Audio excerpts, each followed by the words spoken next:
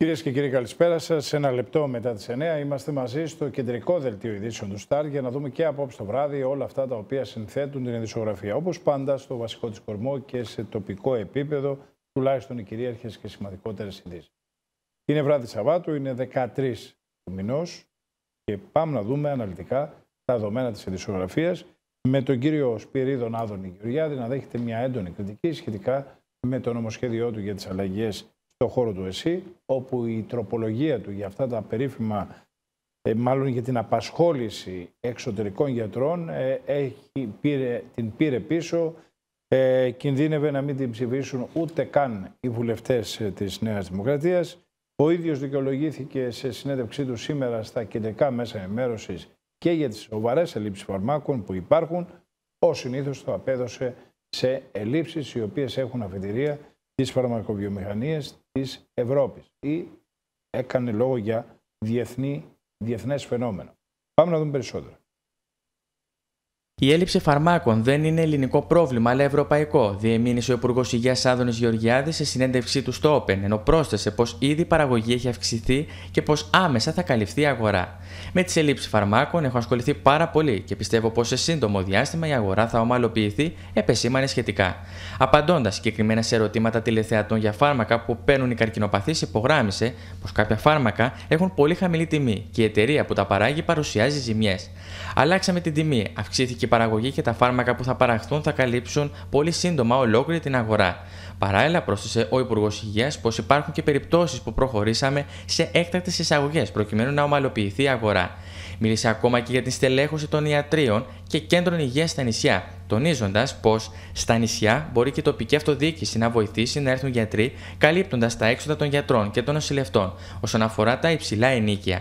Αυτό θέλουμε να γίνει και στην υπηρετική Ελλάδα. Μάλιστα, στα νησιά που είναι υψηλά τα ενίκια, εκπονούμε σχέδιο για κατοικίες που θα προσφέρονται με χαμηλό ενίκιο. Ο Άδωνης Γεωργιάδη αναφέρθηκε και στη σφοδρή κόντρα που ξέσπασε στη Βουλή κατά τη συζήτηση του νομοσχεδίου του Υπουργείου Υγείας ανάμεσα στον Μάριο Θεμιστοκλέους και τον Παύλο Πολάκη. Αφορμή ήταν τα απογευματινά χειρουργία για τα οποία ο κ. Πολάκης είπε: Κλείνεται το μάτι σε κάποιους λαθρεμπόρους του πρωινού ωραρίου που παίρνουν φακελάκια και τους λέτε να πάνε να κάνουν μαύρα με τον Υπουργό Υγείας να δηλώνει. Είναι δυνατόν να μιλάει έτσι ο κ. Πολάκης για τους γιατρούς και τους νοσηλευτές; Ο ΣΥΡΙΖΑ δεν τα βλέπει αυτά. Και συνεχίζει ο κ. Γεωργιάδης. Είναι πάνω από 100 τα χειρουργία που έχουν γίνει ήδη σε όλη την Ελλάδα. Τα χειρουργία αυξάνονται με γεωμετρική πρόοδο. Πάει καλά η συγκεκριμένη μεταρρύθμιση. Το Εθνικό Σύστημα Υγείας προσφέρει μια εναλλεκτική λύση στον ασθενή με λιγότερα χρήματα. Και προσθέτει ο Υπουργός Υγείας. Εμείς αυτό που λέμε είναι ότι καλούμε τους ιδιώτες γιατρούς να έρθουν στο ΕΣΥ γιατί υπάρχει συμφόρηση και δεν θα αντέξουν οι εργαζόμενοι στα δημόσια νοσοκομεία. Έχουμε στον αέρα 300 προσλήψεις, αλλά είναι άγονες. Οι γιατροί επιλέγουν τον ιδιωτικό τομέα. Επειδή όμως δεν μπορεί να δώσει το κράτος αυτά τα λεφτά, ψάχνει άλλου τρόπου να ενισχύσει το σύστημα. Χθες αποσύρθηκε η ρύθμιση για την παροχή έργου από ιδιώτες γιατρούς στο ΕΣΥ από τον Υπουργό Υγείας Άδωνη Γεωργιάδη μετά από αντιδράσεις των κομμάτων της αντιπολίτευσης και ο ίδιος εξήγησε στο Open το λόγο. Δεν υπήρχε τροπολογία. Είχα ανακοινώσει πως θα φέρω την νομοτεχνική βελτίωση που θα λέει πως οι ιδιώτες ιατροί θα κάνουν συμβόλαια με τα νοσοκομεία του ΕΣΥ να κάνουν εφημερίες. Το απέσυρα και θα το φέρω με τροπολογία. Ήταν μια νομοτεχνική βελτίωση και όχι τροπολογία αυτό που αποσύρθηκε. Λοιπόν, πάμε τώρα στην τρέχουσα πολιτική δισογραφία, όπου στο οικονομικό και διεθνές φόρουμ του ομώνυμου φόρουμ των Δελφών, το Διεθνές Φόρουμ των Δελφών, μίλησαν διάφοροι. Ανάμεσα αυτούς και ο Στέφανος Κασελάκης και μάλιστα σε άπτεστα αγγλικά και πιο σωστά αμερικανικά. Ερωτώμενος για τις εξελίξεις που αφορούν το ΣΥΡΙΖΑ και τα δημοσκοπικά ευρήματα του τελευταίου διαστήματος, εξέφρασε την πεποίθηση ότι το κόμμα της αξιωματικής αντιπολίτευσης θα μειώσει εντυπωσιακά την ψαλίδα του σε σχέση με τη Νέα Δημοκρατία, την οποία εκτίμησε ότι οι δημοσκοπήσεις δεν θα την ευνοήσουν το επόμενο διάστημα. Πάμε να δούμε περισσότερα στο ρεπορτάζ. Την αισιοδοξία του για το αποτέλεσμα των ευρωεκλογών επανέλαβε από το βήμα του Οικονομικού Φόρουμ των Δελφών ο πρόεδρος του ΣΥΡΙΖΑ, Στέφανος Κασελάκης, ο οποίος δήλωσε χθες βέβαιος ότι η απόσταση με τη Νέα Δημοκρατία θα κλείσει πολύ γρήγορα μέσα στον επόμενο μήνα. Είμαι πεπισμένος ότι μπορούμε να εκπλήξουμε την Ευρώπη και τη χώρα στην επόμενη εκλογική διαδικασία, έχοντας εντοπίσει την αντίφαση ανάμεσα στο αίτημα για εκλογές και στο να θέτει τον πύχη του ποσοστού του ΣΥΡΙΖΑ στο ύψος του ποσοστού που έλαβε το κόμμα πέρσι, ο κ. Κασελάκης τις τελευταίες ημέρες έχει αναβαθμίσει τις προσδοκίες του και μιλάει ακόμη και για νίκη του ΣΥΡΙΖΑ στις κάλπες του Ιουνίου. Στη χθεσινή παρουσίαση του Φόρουμ των Δελφών έδωσε μερικά ακόμη δείγματα της διαδικασίας μεταμόρφωσης του κόμματος αξιωματική αντιπολίτευσης σε κάτι νέο, με έμεσες εχμές για την προηγούμενη ηγεσία και τις επιλογές της. Έτσι, μιλώντας για την κυβέρνηση, είπε ότι δεν λύνουν τα πραγματικά προβλήματα. Είναι καλή στο μάρκετινγκ, για να προσθέσει ότι ευτυχώς τώρα είμαστε καλοί στο μάρκετινγκ και εμείς. Σε άλλο σημείο της τοποθέτησής του και απαντώντας σε σχετικό ερώτημα, ανέφερε: Η ευθύνη μου είναι ο νέος ΣΥΡΙΖΑ να βάλει μπροστά μια νέα κυβερνητική ομάδα, όπως επίσης και ένα πρόγραμμα, και αυτό ακριβώς κάνουμε. Ο κ. Κασελάκης χαρακτήρισε τον ΣΥΡΙΖΑ το μεγάλο προοδευτικό κόμμα στη χώρα, αλλά έδειξε ότι αποστασιοποιείται από τον ιδεολογικό προσδιορισμό της ταυτότητάς του. Έτσι, απαντώντας σε ερώτηση για το πού τοποθετείται ο ΣΥΡΙΖΑ υπό την ηγεσία του, ανέφερε ότι πρόκειται για ένα ζήτημα ταμπελών και ότι όταν οι πολίτες ξυπνούν το πρωί και σκέφτονται πώς θα πληρώσουν τους λογαριασμούς τους, δεν τρώνε ταμπέλες. Δεν τρώνε κεντροαριστερά ή ριζοσπαστική αριστερά για πρωινό. Για άλλη μια φορά, αυτοπροβολήθηκε ως ικανότερος των πολιτικών αντιπάλων του, λέγοντας ότι ο ίδιος μπορεί να επικοινωνήσει καλύτερα από εκείνος με τους ξένους επενδυτές και ότι είναι ο μόνος πολιτικός ηγέτης που έχει επιτύχει στον ιδιωτικό τομέα. Αυτή την εκτίμηση, βέβαια, δεν συμμερίζονται οι πολιτικοί του αντίπαλοι, ιδιαίτερα στη Χαριλάου Τρικούπη, που σχολιάζουν τις χθεσινές αναφορές του πρόεδρου του ΣΥΡΙΖΑ, υπογράμμισαν ότι δεν πρόκειται ποτέ να γίνει πλειοψηφικό ρεύμα των ψηφοφόρων που τον ακολουθεί, διότι η lifestyle δεξαμενή είναι επεπερασμένη. Παράλληλα, ανεβάζουν τους τόνους σε σχέση με την περιουσιακή κατάσταση του κ. Κασελάκη, αναφέροντας ότι θα πρέπει να απαντήσει στο λαό για τις εταιρείες του και ότι με τα λεγόμενά του αναιρεί διαρκώς τον εαυτό του. Τώρα κυρίες και κύριοι, ο κύριος Νίκος Ανδουλάκης ε, επιχειρεί το Πασόκ να καταφέρει να επανέλθει σε ανωδική τροχιά. Όλα τα δημοσκοπικά ευρήματα του τελευταίου διαστήματος ε, τον δείχνουν, δείχνουν το Πασόκ να είναι παγιωμένο περίπου στο 11%. Έτσι λοιπόν, ε, σύμφωνα με τα όσα γράφει ο σημερινός αθηναϊκός τύπος, ο πρόεδρος του Πασόκινάλ έχει αποδηθεί σε μια προσπάθεια διμέτωπου αγώνα και προς το χώρο της κεντροδεξιάς, δηλαδή προς τη Νέα Δημοκρατία, αλλά και της κεντροαριστεράς, δηλαδή προς τον ΣΥΡΙΖΑ. Σε φουλ προεκλογικούς ρυθμούς έχει μπει πλέον το Πασόκ, με τον Νίκο Ανδρουλάκη να σηκώνει το βάρος των περιοδιών ανά την επικράτεια, έχοντας δίπλα του πράσινα στελέχη και υποψήφιους ευρωβουλευτές. Στη Χαριλάου Τρικούπη έχει ξεκινήσει το τελευταίο διάστημα ένα αντιμέτωπο, τόσο προς την κυβέρνηση του Κυριάκου Μητσοτάκη, όσο και τον ΣΥΡΙΖΑ του Στέφανου Κασελάκη. Εκτιμούν ωστόσο ότι βασικός αντίπαλος είναι η Νέα Δημοκρατία, δεδομένου ότι οι δεξαμενοί ψηφοφόρων του κυβερνώντος κόμματος είναι αρκετά μεγάλοι και θεωρητικά θα μπορούσαν να επαναπατριστούν ψηφοφόροι του κέντρου. Οι άσκηση γνωρίζουν στο Πασόκ ότι είναι δύσκολη. Οι δημοσκοπήσεις των τελευταίων ημερών αποτυπώνουν μια στασιμότητα. Η δεύτερη θέση απομακρύνεται, αλλά υπενθυμίζουν ότι και παλαιότερα δημοσκοπήσεις δεν κατάφεραν να πιάσουν το ακριβές ποσοστό του κόμματος. Τα καμπανάκια όμως σίγουρα έχουν χτυπήσει, γι' αυτό κιόλας έχει ενεργοποιηθεί όλος ο μηχανισμός του κόμματος, αλλά και τα social media, στο οποίο βασίστηκε ολόκληρη σχεδόν η προεκλογική στρατηγική του Κυριάκου Μητσοτάκη. Σε κάθε περίπτωση στη Χαριλάου Τρικούπη θεωρούν ότι η δεύτερη θέση αποτελεί έναν υλοποιήσιμο στόχο, δεδομένου ότι βρισκόμαστε δύο μήνες πριν τις εκλογές. Υπάρχει δηλαδή αρκετός πολιτικός χρόνος ώστε να αλλάξουν τα δεδομένα και το Πασόκ να γίνει δεύτερη δύναμη. Είμαι σίγουρος ότι το Πασόκ θα έχει μια ραγδαία αύξηση των ποσοστών του συγκριτικά τόσο με τις προηγούμενες ευρωπαϊκές εκλογές όσο και με τις προηγούμενες εθνικές, τόνισε χαρακτηριστικά πριν από λίγες ημέρες ο κ. Ανδρουλάκης, ο οποίος αναμένεται να παίξει τα ρέστα του το επόμενο διάστημα.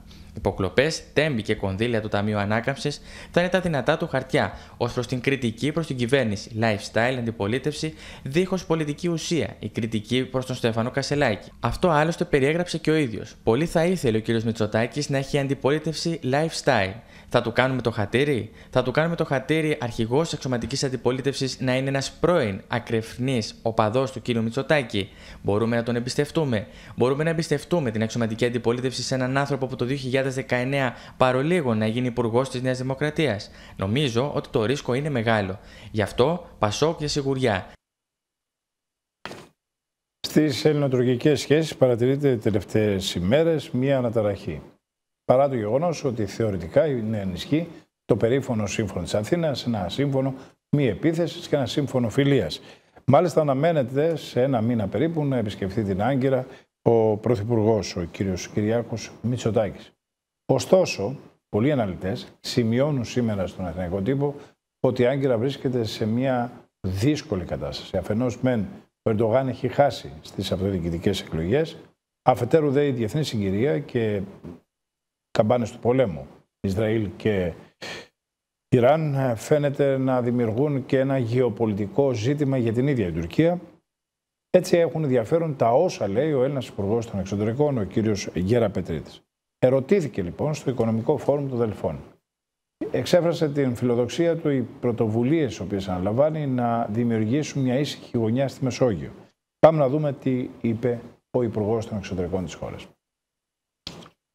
Το μήνυμα ότι δεν είμαστε τόσο αφελείς, ούτε εθεροβάμονες να πιστεύουμε ότι από τη μία μέρα στην άλλη θα μπορέσουμε να λύσουμε τα προβλήματα που έχουμε με την Τουρκία, τα οποία ανατρέχουν δεκαετίες, έστειλε ο Υπουργός Εξωτερικών Γιώργος Γεραπετρίτης από το 1ο Οικονομικό Φόρουμ των Δελφών, υπογραμμίζοντας ωστόσο πως είναι σημαντικό να διατηρούμε ανοιχτά τα κανάλια της επικοινωνίας και να μπορέσουμε να έχουμε ηρεμία στην περιοχή μας.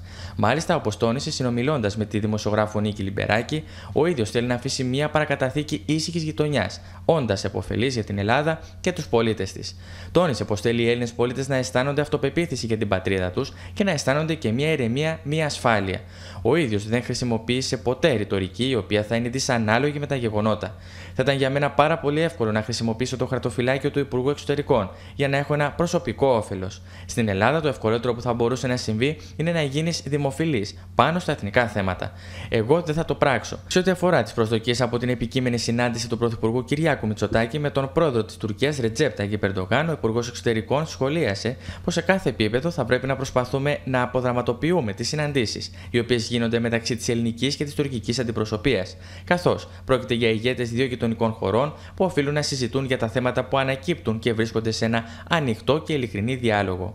Βεβαίως, θα παραχθούν συμπεράσματα στο τέλος της ημέρας, γιατί έχουμε μια μεγάλη ανοιχτή θετική ατζέντα. Έχουμε υπογραμμίσει πως η ΑΟΣ και η φαλοκρηπίδα είναι η μόνη διαφορά η οποία μπορεί να αχθεί ενώπιον διεθνούς δικαιοδοσίας. Γι' αυτό είναι το τέλος της διαδρομής. Ενώ ερωτηθείς αν είναι αισιόδοξο για το κατά πόσον μπορούμε να δούμε αυτό το τέλος, απάντησε: Αυτό που μπορώ να σας διαβεβαιώσω είναι ότι εγώ θα ήθελα να το δω. Εγώ θέλω να αφήσω μια παρακαταθήκη ήσυχης γειτονίας. Όσο δεν λύνεται το υποκείμενο πρόβλημα της οριοθέτησης, πάντοτε θα υπάρχουν εντάσεις. Κάποια στιγμή θα πρέπει να δούμε τα πράγματα με γενναιότητα. Θα πρέπει να καθίσουμε να δούμε με την Τουρκία πώς μπορούμε να έχουμε μια ισόρροπη στάση, η οποία επί της βάσης, αποκλειστικά και μόνο του διεθνούς δικαίου, θα μπορέσει να μας οδηγήσει σε μια λύση αυτού του μοναδικού προβλήματος που έχουμε σε ό,τι αφορά την νομική του υφή και να προχωρήσουμε μπροστά και ενδεχομένως να παραπέμψουμε στη Χάγη ή στο Αμβούργο σε μια διεθνή δικαιοδοσία, η οποία θα μπορεί να κλείσει το θέμα της οριοθέτησης. Σε ό,τι αφορά το ζήτημα του Φρέντι Μπελέρη, επανέλαβε ότι δεν είναι ένα ζήτημα διμερές, αλλά ευρωπαϊκό, εκτιμώντας πως έχει πλέον γίνει κοινή κατανόηση ότι ο τρόπος με τον οποίο έγινε η διαχείριση της υπόθεσης του Φρέντι Μπελέρη δεν προσυδειάζει σε ένα προηγμένο κράτος δικαίου.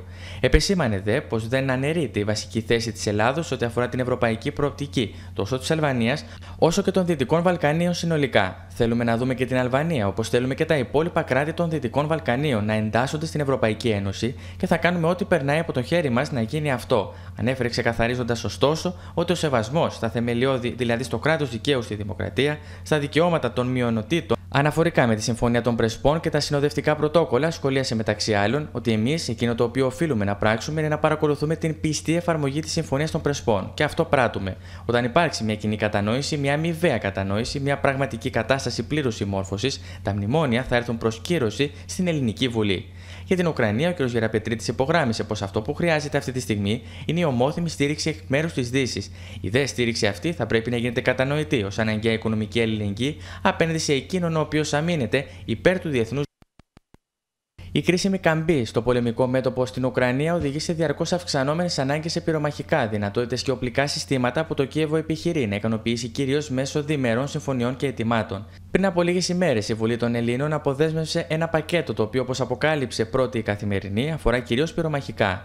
Πριν από λίγες ημέρες, η Ουκρανική αντιπροσωπεία επανήλθε καταθέτοντας κάποια νέα αιτήματα με τα οποία ουσιαστικά ζητεί στήριξη σε θέματα που αφορούν την αεροπορική επάρκεια του Κιέβου, την αντιεροπορική άμυνα της χώρας αλλά και τις χερσαίες δυνάμεις. Συγκεκριμένα, η Ουκρανική πλευρά ζητεί Πρώτον, υποστήριξη της προσπάθειας των Ουκρανών να αποκτήσουν F-16 την κατάλληλη στιγμή. Δεδομένου ότι η Αθήνα έχει αποκλείσει οποιαδήποτε ενδεχόμενο παραχώρησης ή πόλη μαχητικών στο Κίεβο, η Ουκρανική πλευρά ζητεί συνδρομή στην εκπαίδευση χειριστών F-16 ανταλλακτικά για τα αεροσκάφη πυράβλους τύπου Ambram και AGM-88 και βόμβες τύπου GBU-39. Δεύτερον, αντιεροπορικά συστήματα ρωσικής και όχι μόνο κατασκευής. Συγκεκριμένα, ζητάει την αποδέσμευση S-300 και SA-8 Κροτέλ και Χοκ. Ακόμη και αυτά έχουν βλάβες ή προβλήματα λόγω της μακροχρόνιας χρήσης τους και στην περίπτωση των συστημάτων ρωσικής κατασκευής της ελλειπού συντήρησης και υποστήριξής τους. Μεταξύ άλλων, η Ουκρανία ενδιαφέρεται για αντιεροπορικά συστήματα, άρματα μάχης και πυρομαχικά, καθώς και για περαιτέρω υποστήριξη στον τομέα του πυροβολικού. Τρίτον, άρματα μάχης και πυρομαχικά για αυτά, καθώς επίσης και τεθωρακισμένα οχήματα μεταφοράς προσωπικού τύπου 113. Τέταρτον, περαιτέρω υποστήριξη στον τομέα του πυροβολικού. Συγκεκριμένα, θέλει να ενημερωθεί αν υπάρχει περαιτέρω διαθεσιμότητα για πυροβόλα των 155 και 203 χιλιοστών και τα βλήματά τους, καθώς επίσης για το αν στο ελληνικό απόθεμα υπάρχουν βλήματα των 73 χιλιοστών. Οι συζητήσεις προφανώς θα συνεχιστούν τις επόμενες ημέρες, προκειμένου να φανεί ποιες παραχωρήσεις από όλες αυτές μπορεί να γίνουν από την Αθήνα. Ω προς το πυροβολικό, η Ελλάδα ήδη έχει παραχωρήσει είτε απευθείας είτε μέσω πόλης στην Τσεχία και πυροβόλα διατρήματος 155 και 203 χιλιοστών και μεγάλο αριθμό βλημάτων. Ω προς την εκπαίδευση χειριστών F-16 από τα στελέχη της πολεμικής αεροπορίας, πρόκειται για μια συμφωνία στην οποία είχαν καταλήξει επί της αρχής πριν από αρκετούς μήνες οι δύο πλευρές και ουσιαστικά οι Ουκρανοί πιέζουν για την υλοποίησή της. Ω προς τα εντεροπορικά συστήματα, υπενθυμίζεται ότι η Αθήνα έχει επανειλημμένω θέσει ως όρο παραχώρησή τους την αντικατάσταση από κάποιο δυτικό λειτουργικό εντεροπορικό σύστημα, το οποίο θα μπορέσει να καλύψει το κενό που θα δημιουργηθεί στην αεράμινα των νησιών του Αιγαίου. Η ατμόσφαιρα ανάμεσα σε Κίεβο και Αθήνα είναι καλή, καθώς οι συμφωνίες που έχουν γίνει προχωρούν όχι μόνο στους τομείς της άμυνας αλλά και της μελλοντικής ανοικοδόμησης της χώρας. Αυτή η ατμόσφαιρα ήταν ορατή και το απόγευμα της περασμένης Πέμπτης στο Βίλνιους, όπου στο περιθώριο της Συνόδου Κορυφής της Πρωτοβουλίας 3 ο Πρωθυπουργός Κυριάκος Μητσοτάκης συναντήθηκε με τον πρόεδρο της Ουκρανίας Βολοντίμιρ Ζελένσκι. Η συνάντηση ήταν βέβαια πολύ σύντομη, καθώς ο πρόεδρος της Ουκρανίας είχε διμερείς επαφές με το σύνολο των ηγετών που βρέθηκαν στο Βίλνιους, ωστόσο λειτουργήσε ως επιβεβαίωση της ανάγκης να συνεχιστεί η υποστήριξη της Ουκρανίας στην παρούσα κρίσιμη καμπή. Τόσο στην Αθήνα όσο και στις υπόλοιπες ευρωπαϊκές πρωτεύουσες υπάρχει ανησυχία για το αδιέξοδο που έχει επικρατήσει το Κογκρέσο, με αποτέλεσμα η Αμερικανική βοήθεια να μην μπορεί να φτάσει απευθείας στην Ουκρανία και το βάρος να πέφτει στα απροετοίμαστα κράτη-μέλη της Ευρωπαϊκής Ένωσης. Λοιπόν, πάμε τώρα σε ένα θέμα της εσωτερικής ειδησιογραφία, αλλά θα το δούμε στην τοπική του διάσταση. Πώς; Θα δούμε τι λένε δύο στελέχη της οργάνωσης Κέρκυρας ΣΥΡΙΖΑ για την αυριανή κάλπη που θα στηθεί και στην Κέρκυρα, σε διάφορες περιοχές της Κέρκυρας, σε ολόκληρη την Ελλάδα είναι οι εσωκομματικές προκριματικές εκλογές για το ψηφοδέλτιο, το ευρωψηφοδέλτιο του ΣΥΡΙΖΑ. Προκριματικές εκλογές για την ανάδειξη ενός εκ των τριών υποψηφίων από τα Ιόνια νησιά που θα πλαισιώσει το ευρωψηφοδέλτιο του ΣΥΡΙΖΑ διεξάγονται την ερχόμενη Κυριακή 14 Απριλίου. Σήμερα, μάλιστα, ο συντονιστής της Νομαρχιακή Επιτροπής Κερκύρας του Κόμματος παρουσίασε τους τρεις υποψηφίους. Πρόκειται για τον Χαράλαμπο Αραβαντινό Σιμονέτο, φοιτητή μεταπτυχιακού από την Κεφαλονιά και ιδιοκτήτη μικρομεσαίας επιχείρησης. Την Ελένη Γραμμένου, ελεύθερη επαγγελματία από την Κέρκυρα και τον Αθανάσιο Τεμπονέρα, ιδιωτικό υπάλληλο από την Κέρκυρα.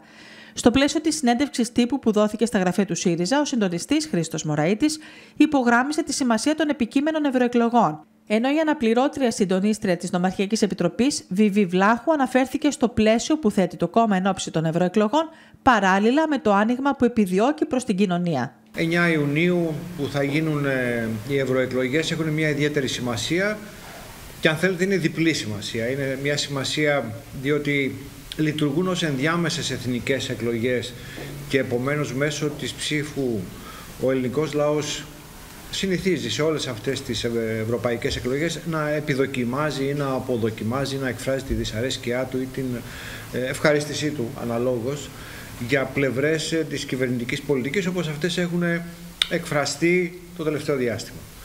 Ε, σε αυτό το σκέλος ξέρετε πολύ καλά και όλοι ξέρουν και έχει διατυπωθεί και δημόσια ότι είναι πολλά τα πράγματα που από τον περασμένο Μάη-Ιούνιο που εκλέχθηκε η τελευταία κυβέρνηση έχουν αλλάξει και έχουν επιδεινωθεί στη ζωή της ελληνικής κοινωνίας.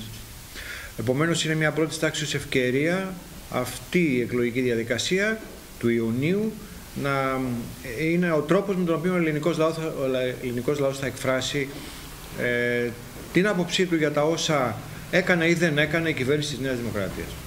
Η επιδείνωση όμως είναι ραγδαία, είναι γρήγορη και είναι και σοβαρή σε πάρα πολλούς τομείς της ζωής, τόσο στην οικονομία, η ακρίβεια δύο χρόνια τώρα συνεχίζει να μας χτυπάει ε, και συγχρόνως ε, τα τέμπη πλέον δεν είναι μια υπόθεση που θα ξεχαστούν, το λένε όλοι οι πολιτικοί αναλυτές αυτό και ας ξεχάστηκαν πέρσι. Και συγχρόνως το σκάνδαλο των υποκλοπών, των παρακολουθήσεων ε, μπήκε σε άλλη τροχιά μετά τις τελευταίες εξελίξεις ε, και όλη η κατάσταση που βιώνουμε σε ό,τι αφορά το κράτος δικαίου ε, στην Ελλάδα είναι ένα πράγμα που βαίνει συνεχώς σε υποβάθμιση. Το ίδιο τα ζητήματα τάξης και ασφάλειας, μεγάλο ατού υποτίθεται της Νέας Δημοκρατίας και μια σειρά άλλα τέτοια ζητήματα για τα οποία ο ελληνικός λαός θα εκφραστεί στις επόμενες ευρωεκλογές. Το δεύτερο σκέλος όμως είναι η ίδια η ευρωπαϊκή ουσία αυτών των ευρωπαϊκών εκλογών. Εκλέγουμε Ευρωκοινοβούλιο, εκλέγουμε δηλαδή ε, τους ανθρώπους που θα συμμετέχουν από την χώρα μας στο μόνο δημοκρατικά και μαζικά εκλεγμένο όργανο της Ευρωπαϊκής Ένωσης γιατί όλα τα άλλα όπως καταλαβαίνετε και ξέρετε είναι ε, σώματα τα οποία απαρτίζονται και στελεχώνονται εξ οφίτσιο. Βασικός στόχος ε, του ΣΥΡΙΖΑ Προοδευτική Συμμαχία από εδώ και μπρος είναι η επαφή με την κοινωνία. Αυτή θα εκφράζεται ε, με το άνοιγμα προς την κοινωνία, θέτοντας ως στόχους τη συμμετοχικότητα χωρίς διακρίσεις και χωρίς ε, επιλογές, την αξιοκρατία, τη διαφάνεια, ε, τις ικανότητες όλων και στο πλαίσιο αυτό έχουν κινηθεί μέχρι στιγμής δύο διαδικασίες. Είναι η ανοιχτή πρόσκληση για να συμμετέχουμε στα think tanks του ΣΥΡΙΖΑ, σε όλη την Ελλάδα έχει ανοίξει αυτή η πρόσκληση και το δεύτερο είναι το κομμάτι αυτό. Επίσης ο iSyriza είναι ένα άλλο τμήμα που μπορεί και έρχεται πιο κοντά στους ε, πολίτες. Ε, ο στόχος είναι οι πολίτες να γίνουν ενεργοί, να συμμετέχουν από τη βάση σε όλες τις διαδικασίες που τους αφορούν και η πολιτική να αποκτήσει καινούριο νόημα. Κυρίες και κύριοι, καλησπέρα σας. Περνάμε στη δεύτερη νότα του σημερινού κεντρικού δελτίου ειδήσεων του ΣΤΑΡ και πάμε τώρα να δούμε ένα θέμα το οποίο σε επίπεδο τοπικής κοινωνίας μας έχει απασχολήσει ιδιαίτερα, δηλαδή στην πραγματικότητα μια εκδοχή του είναι αυτά τα φαινόμενα παραβατικής συμπεριφοράς νέων, νεανικής και εφηβικής βίας και τον Πρωθυπουργό να έχει ανακοινώσει μία σειρά από μέτρα αυστηροποίησης της διαχείρισης της όποιας παραβατικότητας των μαθητών. Πάμε να δούμε όμως πώς σχολιάζει αυτά τα μέτρα που ανακοίνωσε ο κύριος ε, Μητσοτάκης η Ένωση Λειτουργών Μέσα Εκπαίδευσης Κέρκυρας. Ο γραμματέας Ελμε Κέρκυρας, ο κύριος Νίκος Γουλιούμης, μίλησε ο Στάρ και την τώρα Σπρέα. Η αυστηροποίηση των ποινών για τους μαθητές και οι καταγγελίες των περιστατικών βίας στο πλαίσιο των μέτρων που εξήγηλε χθες η κυβέρνηση δεν αποτελούν λύσεις προς την ουσιαστική αντιμετώπιση του προβλήματος της ενδοσχολικής βίας και του εκφοβισμού. Υποστηρίζουν η εκπαιδευτική και η γονεϊκή κοινότητα, οι οποίες υπογραμμίζουν την ανάγκη αντιμετώπισης των πραγματικών αιτίων του φαινομένου στην κατεύθυνση της πρόληψης και όχι της καταστολής. Στο ΣΤΑΡΤ μίλησε ο γραμματέας της Ελμέκερ Κύρα, Νίκος Γκουλιούμης. Ε, για εμάς είναι το πιο, το πιο σημαντικό είναι να προλαμβάνουμε τα φαινόμενα αυτά και για να μπορούμε να μιλήσουμε για πρόληψη θα πρέπει να μιλήσουμε για κοινωνικές δομές, θα πρέπει να μιλήσουμε για κοινωνιολόγους, θα πρέπει να μιλήσουμε για ψυχολόγους στα σχολεία, για κοινωνικούς λειτουργούς, για προγράμματα σπουδών που θα ενθαρρύνουν τη συλλογικότητα έναντι του αντωνισμού και του, του ανταγωνισμού, για δράσεις που θα προτάσουν την φιλία, την ανεκτικότητα. Αυτά δεν υπάρχουν ε, στις σκέψεις της κυβέρνησης. Νομίζω ότι θεωρεί ότι είναι αναγκαίο κακό να υπάρχει βία από τη στιγμή που θεωρεί ότι ο από τη στιγμή που αποδέχεται τον ανταγωνισμό μέσα σχολεία, από τη στιγμή που αποδέχεται ε, το ένα κεντρικό σύστημα παιδείας, δεν χωράει οτιδήποτε θα μπορούσε να έχει να κάνει με την πρόληψη δυστυχώς. Το να αυστηροποιηθούν οι ποινές, ξέρουμε ως επιστήμονες, δεν βοηθάει από μόνο τους στην αντιμετώπιση ε, της βίας μεταξύ των εφήβων και των φαινόμενων bullying. Δεν είναι η αυστηροποίηση, η πανάκια γενικότερα σε μια κοινωνία η οποία νοσεί. Στην περίπτωση της Κέρκυρας, επειδή ε, το περιστατικό που συνέβη μέρα μεσημέρι, μιας Τετάρτης, στην πλατεία Σαρόκο θορύβησε όλους και παραμένει ε, αναμφίβολα ένα από τα θέματα της επικαιρότητας. Ε, θα ήθελα να ρωτήσω μέσα στα σχολεία εσείς εδώ της Κέρκυρας πώς αντιλαμβάνεστε γενικά τη συμπεριφορά των παιδιών; Τα παιδιά έρχονται στην τρυφερή ηλικία της εφηβείας, ε, συνεχίζουν να είναι παιδιά. Διαπιστώνουμε όμως μερικά πράγματα. Το ένα διαπιστώνουμε, που διαπιστώνουμε είναι ότι δεν έχει η, η, η καραντίνα, η διετία στην οποία τα παιδιά είναι έγκαιστα, δεν τα έχουν βοηθήσει ώστε να αναπτυχθούν, να αναπτυχθούν ε, όσο τους αναλογεί. Δηλαδή δεξιότητες τις οποίες θα έπρεπε να αποκτήσουν, δεν τις έχουν αποκτήσει ακριβώς λόγω της βίης διακοπής της, ε, ε, κοινωνικής τους εξέλιξης για δύο ολόκληρα χρόνια. Δεν το συζητήσαμε ποτέ αυτό το πράγμα. Δεν συζητήσαμε ποτέ τις συνθήκες που βιώνουν μέσα στα σχολεία, όπως την υπεργιγάντωση ας πούμε του επαγγελματικού λυκείου, του πρώτου σε τι συνθήκες στεγάζονται εκεί, σε τι συνθήκες διαβιούν, σε τι συνθήκες λαμβάνουν τη μάθηση. Είναι πράγματα τα οποία τα έχουμε καταγγείλει, τα καταγγέλνουμε εδώ και καιρό. Δεν περιμέναμε να έρθει ένα βίο γεγονός στην επιφάνεια. Απλά αναδεικνύει και τις τραγικές ελλείψεις που υπάρχουν στην εκπαίδευση. Δεν υπάρχουν ψυχολόγοι, δεν υπάρχουν κοινωνικοί λειτουργοί, δεν υπάρχουν νοσηλευτές. Ε, τα παιδιά, όπως έχουμε καταγγείλει σε, σε ανακοίνωσή μας σχετικά στην επαγγελματική εκπαίδευση, στην άγουρη ηλικία των 15, 16, 17 χρονών εργάζονται σχεδόν σε ποσοστό 100%. Τι σημαίνει αυστηροποιώ και επαναφέρω την πενθήμερη; Αυτό ήταν που έλειπε την επταθήμερη αποβολή αντί της διήμερης ως κατασταλτικό μέτρο μιας συμπεριφοράς ένα σχόλιο. Αυτό μας έλειπε. Πάμε τώρα κυρίες και κύριοι να δούμε τα πλοία. Δετάρτη. Θα είναι δεμένα στους κάβους τους τα πλοία της προθυμιακής γραμμής Κέρκυρας Χουμενίτσας. Η αιτία είναι η συμμετοχή των αυτεργατών της Κέρκυρας στην απεργία που κήρυξε η Πανελλήνια Ναυτική Ομοσπονδία. Δεμένα στα λιμάνια της Κέρκυρας θα παραμένουν τα πλοία την ερχόμενη Τετάρτη 17 Απριλίου, καθώς το Σωματείο Ναυτεργατών του Νομού ακολουθεί την απόφαση της Πανελλήνιας Ναυτικής Ομοσπονδίας. Με τη σειρά της, η Ποινιό συμμετέχει στην 24ωρη πανελλαδική απεργία, την οποία προκήρυξε η ΓΕΣΕ για την ακρίβεια. Εκτός από το ζήτημα των επιπτώσεων της ακρίβειας, η ποινιό αναφέρεται στην κατάσταση που επικρατεί στη δημόσια ναυτική εκπαίδευση και στις δημόσιες υπηρεσίες του Υπουργείου Ναυτιλίας και Νησιωτικής Πολιτικής για την απόκτηση πιστοποιητικών και πτυχίων απαραίτητων για την άσκηση του ναυτικού επαγγέλματος, ενώ συγχρόνως απαιτεί την καθιέρωση αυξημένων οργανικών συνθέσεων και ενός νέου νομοθετικού πλαισίου που να ανταποκρίνεται στις σημερινές ανάγκες των πλοίων και της ναυτεργασίας, ώστε να εξασφαλίζονται πλήρως οι ανθρώπινες συνθήκες δουλειά και κυρίως η ασφάλεια των πλοίων, των επιβατών και του πληρώματος. Στο ΣΤΑΡΤ μίλησε ο εκπρόσωπος του Σωματείου Ναυτεργατών της Κέρκυρας, Γιώργος Παξινός. Το Σωματείο μας, μαζί με την Πανελλήνια Ναυτική Ομοσπονδία, αποφάσισε να συμμετάσχει στην 24ωρη απεργία της Γενικής Συνομοσπονδίας Εργατών Ελλάδος ε, την Τετάρτη 17, του μηνός. Ε, κύριο αίτημα είναι η ακρίβεια, η αξιοπρεπής όρη διαβίωσης και ταυτόχρονα προβάλλουμε και κάποια δικά μας ε, αιτήματα σχετικά με την ναυτική εκπαίδευση η οποία είναι λυπής, χρειάζεται πάρα πολύς χρόνος για να περάσουν σχολεία για πυροσβεστικά, σωστικά η ναυτική και για τις οργανικές συνθέσεις των πληρωμάτων. Ζητάμε αύξηση των οργανικών συνθέσεων των πληρωμάτων προκειμένου να υπάρχει μεγαλύτερη ασφάλεια όσον αφορά τις ε, ναυτικές συγκοινωνίες και την καλύτερη εξυπηρέτηση των επιβατών. Άρα λοιπόν την ερχόμενη Τετάρτη τα πλοία θα παραμένουν δεμένα στα λιμάνια της Κέρκυρας, έτσι; Ναι, δεμένα για 24 ώρες. Ε, σε περίπτωση που υπάρξει κάποιο έκτακτο περιστατικό, αυτό θα αντιμετωπιστεί από, το, από τα μέσα του Κεντρικού Λιμεναρχείου της Κέρκυρας. Τώρα θα δούμε δηλώσεις που έχει κάνει ο κ. Σπύρος Νεράντζης, ο αντιδήμαρχος του Δήμου Κερκυραίων, σχετικά με τις δημοτικές κατασκηνώσεις στο Βίδο. Έχουν ενδιαφέρον διότι δεσμεύεται ο κύριος Νεράντζης ότι οι κατασκηνώσεις που για χρόνια δεν λειτουργούσαν, παρά τις διαβεβαιώσεις των παραγόντων της προηγούμενης Δημοτικής Αρχής, φέτος θα γίνουν. Υπάρχουν βεβαίως όροι και προϋποθέσεις γι' αυτό και πάμε να δούμε τι είπε μιλώντας στο Στάρτ. Την υλοποίηση του προγράμματος Δημιουργικής Απασχόλησης και Δημοτικών Κατασκηνώσεων στο Βίδο για τη φετινή σεζόν ενέκρινε στην τελευταία συνεδρίασή του το Δημοτικό Συμβούλιο Κεντρικής Κέρκυρας. Ο εγκεκριμένος σχεδιασμός περιλαμβάνει την παροχή υπηρεσιών σύντησης με έτοιμο φαγητό και την πρόσληψη του αναγκαίου εποχικού προσωπικού. Θα ακολουθήσει αντίστοιχο πρόγραμμα και για τις δημοτικές κατασκηνώσεις στα Γουβιά.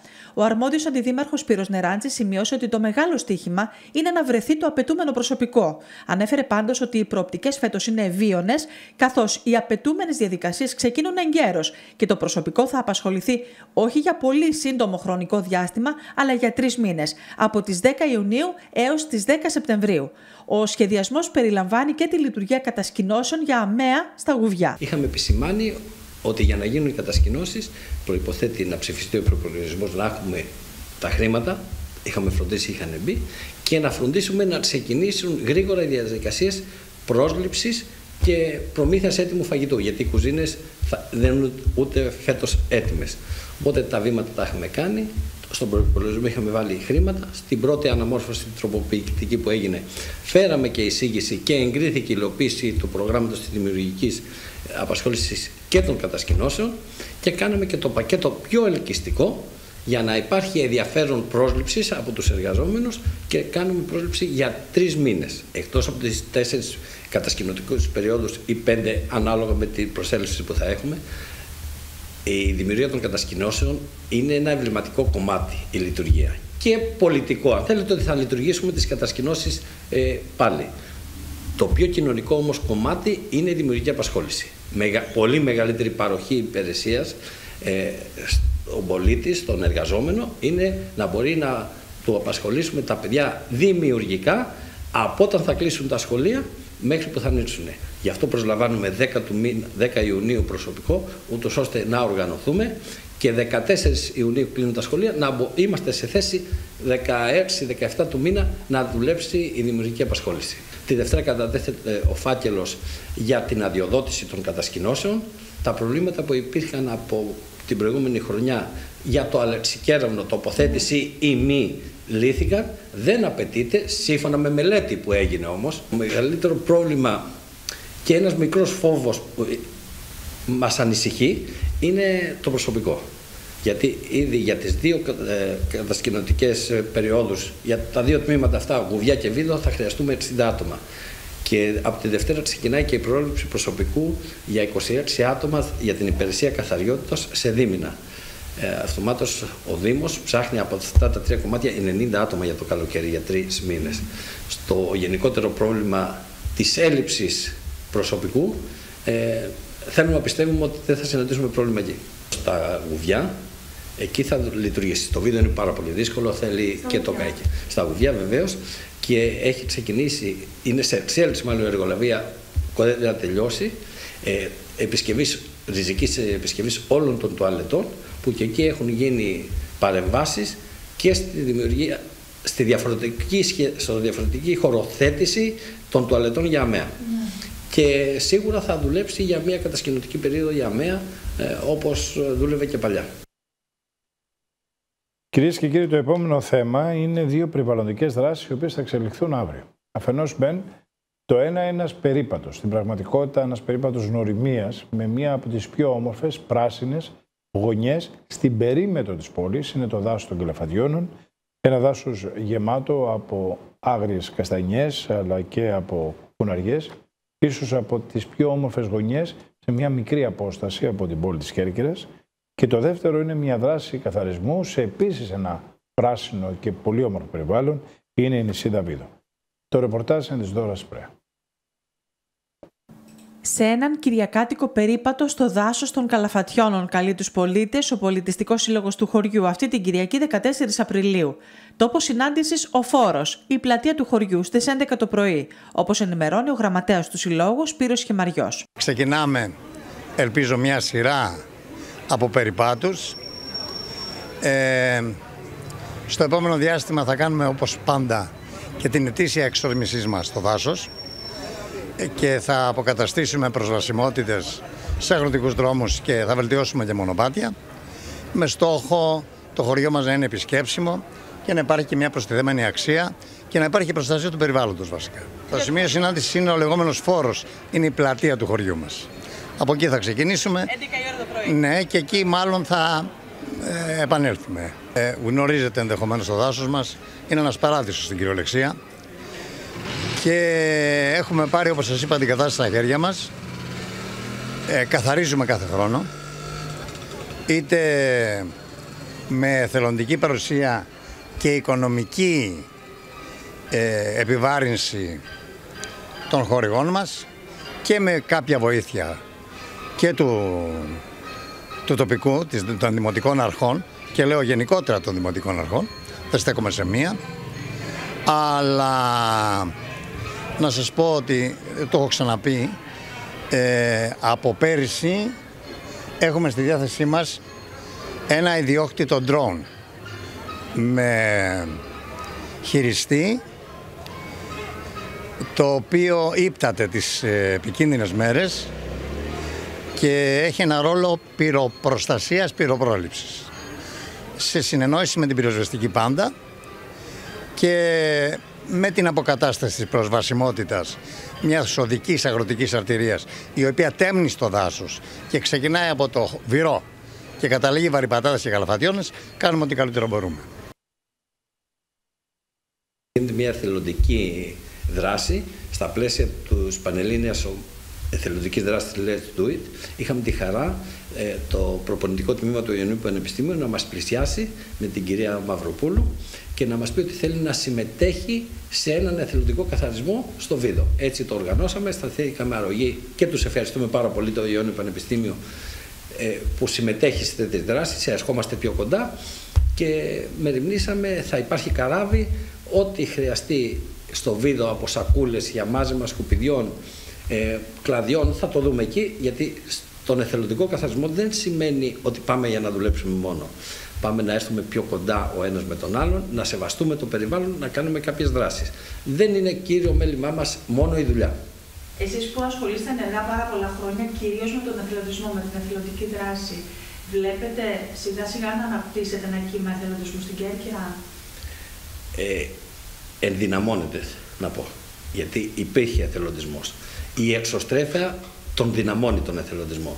Και εκεί πρέπει να είναι και ο ρόλος του Δήμου. Θα πρέπει όλες τις εθελοντικές ομάδες να τις ενώνει, να έχουν εξωστρέφεια όλες οι εθελοντικές ομάδες και έτσι θα μεγαλώσει και το εθελοντικό κίνημα. Και θα είναι πολύ μεγάλο το κέρδος ε, για όλη την κοινωνία. Η συμμετοχή από την εθελοντική δράση και στα κοινά δημιουργεί ενεργούς πολίτες. Είναι πάρα πολύ σημαντικές τέτοιες δράσεις. Καλούμε την Κυριακή, όποιον κερκυραίο θέλει να έρθει. 10 η ώρα θα υπάρχει συγκοινωνία με καράβι ιδιώτη στο συνηθισμένο σημείο που φεύγει για το βίδο και μία και μισή επιστροφή.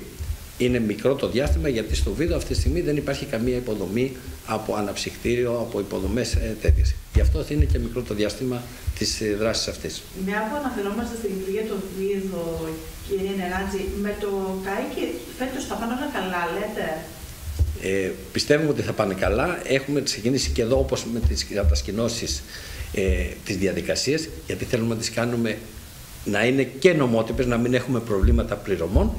Ε, Δευτέρα ή Τρίτη θα βγει και η ανάθεση λειτουργίας του δημοτικού σκάφους σε διαγωνιστική διαδικασία. Είναι έτοιμη η διαδικασία, από εκεί έρχομαι τώρα. Ε, μερικά τυπικά θέματα υπάρχουν, το είχαμε οργανώσει. Δευτέρα ή Τρίτη θα ανακοινωθεί και αυτό. Ο βασικός κορμός της τοπικής οικονομίας είναι ο τουρισμός. Ο τουρισμός σημαίνει και ασφάλεια των επισκεπτών. Έτσι λοιπόν, χθες στο Φαλεράκι, στο μικρό συνεδριακό κέντρο του Δήμου της Κεντρικής Κέρκυρας, οργανώθηκε μια εκπαιδευτική δράση για την ασφάλεια. Λεπτομέρειες και για τους συντελεστές, αλλά και για το όλο πνεύμα της οργάνωσης, στο ρεπορτάζ τώρα σας σε συνεργασία με την ε, ε, πρεσβεία ε, της Μεγάλης Βρετανίας και με την υποπρόξενο στην Κέρκυρα, την κυρία Άλισον Τέρνεϊ. είχαμε μια πολύ ενδιαφέρουσα εκδήλωση στο Φαλιράκι, στο συνεδριακό κέντρο, για θέματα τα οποία αφορούν το, τα επίκαιρα θέματα της τρομοκρατίας.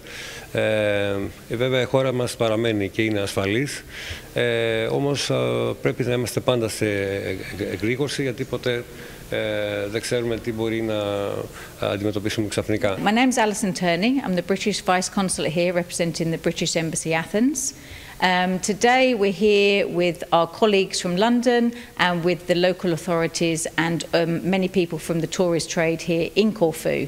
It just strengthens the collaboration that we have across the teams um, of a very, very popular resort for the British nationals um, that we all work together to make sure that this is a safe and pleasant uh, area for us to travel to. Είναι πολύ ενδιαφέρουσα η παρουσίαση εκ μέρους της Αγγλικής Πρεσβείας σχετικά με τους κινδύνους από τρομοκρατικές ενέργειες ή εγκληματικές ενέργειες και πώς μπορούμε να τις ε, αποφύγουμε αν είμαστε προσεκτικοί ε, όταν βλέπουμε άτομα τα οποία θεωρούμε ύποπτα Ε, όπως ε, και σε σχέση με την ε, κλιματική αλλαγή, ε, πλημμύρες, φωτιές, το οποίο είναι ένα επίκαιρο θέμα, επίκαιρο λόγω το, της αύξησης της δημοκρασίας, της μεγάλης καλοκαιρινής περίοδου που έχουμε και υψηλών θερμοκρασιών. Είχαμε και πέρσι το περιστατικό με την μεγάλη φωτιά. Ε, και θα πρέπει σίγουρα να λάβουμε μέτρα ούτως ώστε ε, να υπάρχουν κάποια πρωτόκολλα, ε, να είμαστε έτοιμοι να αντιμετωπίσουμε τέτοιες καταστάσεις. Κυρίες και κύριοι, αυτά ήταν τα βασικά δεδομένα της σημερινής ειδησιογραφίας, της τοπικής ειδησιογραφίας. Όπως την είδαμε, όπως την καταγράφουμε και όπως την προσεγγίζουμε και την αναλύουμε. Εδώ, η συντακτική ομάδα του ΣΤΑΤ. Όπως πάντα, θα ακολουθήσει η πρόγνωση του καιρού και συνέχεια οι διαφημίσεις. Αμέσως μετά, στην ενημερωτική εκπομπή Υπάρχει θέμα, θα έχουμε τη δυνατότητα να συζητήσουμε για μία ακόμη φορά ένα πολύ σοβαρό θέμα, ίσως θεμελιώδους αξίας για τους περισσότερους κατοίκους αυτού του νησιού. Και ιδιαίτερα για εκείνους οι οποίοι δεν έχουν οικονομικούς πόρους για να αντιμετωπίσουν μια έκτατη και ειδικού χαρακτήρα ανάγκη, όπως η καταγραφή στο κτηματολόγιο των ακινήτων που διαθέτουν, κυρίως της αγροτικής γης. Σε πολύ λίγα λεπτά λοιπόν ξανά μαζί.